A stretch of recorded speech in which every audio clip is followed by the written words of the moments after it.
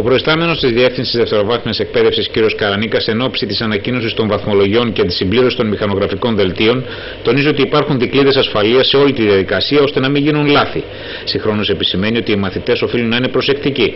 Ταυτόχρονα λέει ότι ο υπηρεσιακός μηχανισμός των σχολείων θα είναι στη διάθεση των μαθητών τη εργάσιμες ώρες ώστε να εξυπηρετηθούν όλοι κανονικά. Οι μαθητές μπορούν να μπουν στο site που έχει δημιουργηθεί στη σελίδα του Υπουργείου Παιδείας και να δοκιμαστικά να συμπληρώσουν όσα μηχανογραφικά θέλουν δοκιμάζοντας τις επιλογές τους.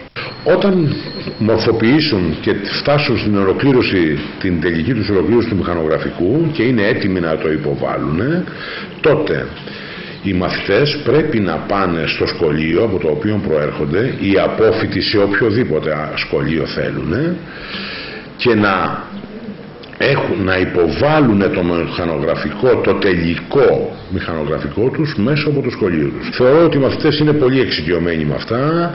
Οι καθηγητές, ε, τα σχολεία και έχουν, δεν, έχουν, δεν θα έχουν πρόβλημα. Θα νομίζω ότι πολύ εύκολα θα το κάνουν οι μαθητές. Τώρα όσον αφορά την υπηρεσία μας, εμείς έχουμε δώσει εντολή στα σχολεία, όλα τα λύκεια, έχουν συγκροτήσει ομάδες, είναι πάντοτε στη διάθεση των μαθητών, γιατί κάποιοι μαθητές μπορεί να μην έχουν τη δυνατότητα στο ίντερνετ και να επεμβαίνουν από το σπίτι τους ή από οπουδήποτε αλλού να κάνουν τα μηχανογραφικά αυτά τα πρόχειρα που λέμε. Είναι πάντα στη διάθεση όλα τα σχολεία, υπάρχουν ομάδες εργασίας εκεί καθηγητών, είναι εξοικειωμένοι, ξέρουν ακριβώς τη διαδικασία τους, τους έχουμε φυστήσει την προσοχή για την λεπτομερή ε, επεξεργασία των στοιχείων των μαθητών. Αυτά που θέλουν οι μαθητές να μην γίνει κανένα λάθος στη θέληση των μαθητών